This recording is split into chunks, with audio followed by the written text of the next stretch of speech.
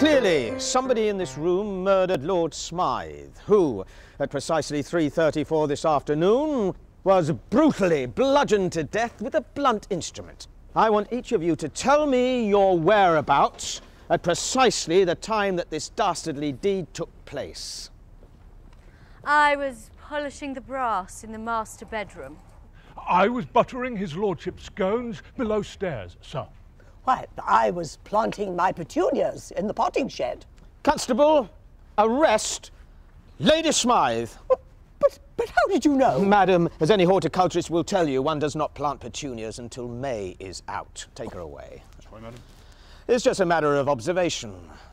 The real question is how observant were you?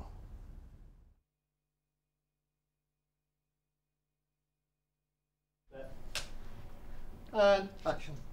Clearly, somebody in this room murdered Lord Smythe, who, at precisely 3.34 this afternoon, was brutally bludgeoned to death with a blunt instrument.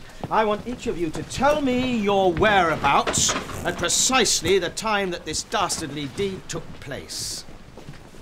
I was polishing the brass in the master bedroom. I was buttering his lordship's scones below stairs, sir. Why, I was planting my petunias in the potting shed. Constable, arrest Lady Smythe.